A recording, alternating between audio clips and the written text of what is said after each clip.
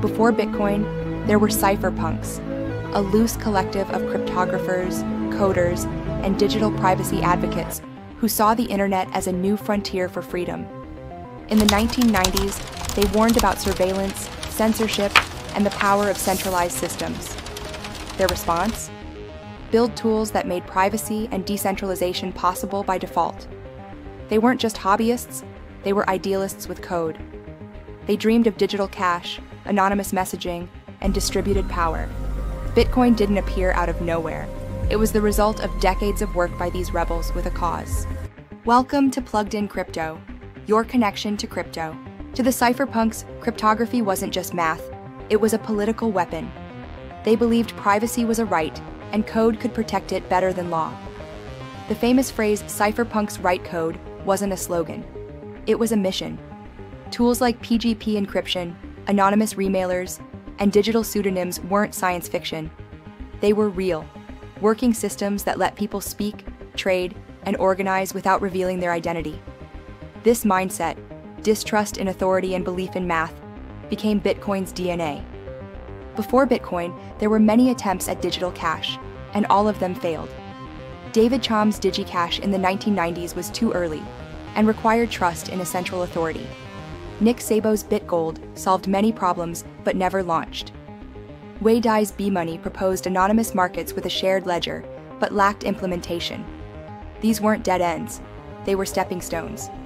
Each one solved part of the puzzle, but not the whole thing.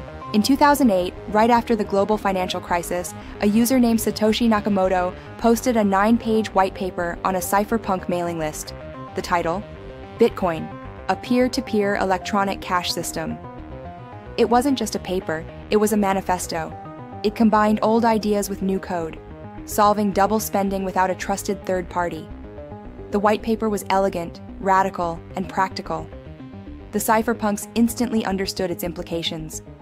This wasn't just a new kind of money, it was a new kind of trust. In January 2009, Satoshi mined the first Bitcoin block, the Genesis block, embedding a message about bank bailouts. It wasn't a coincidence. It was a statement.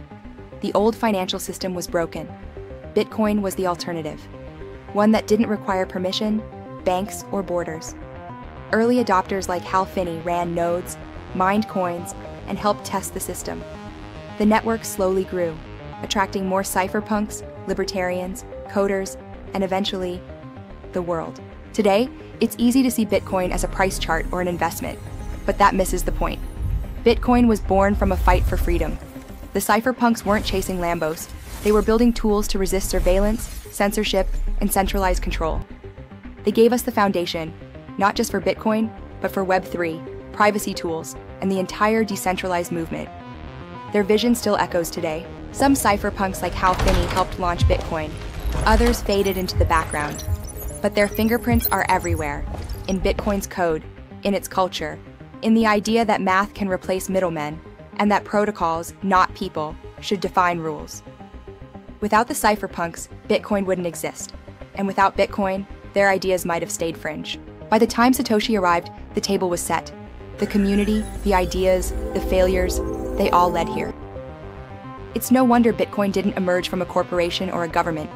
It emerged from the fringes, from thinkers who wanted to change the world with code.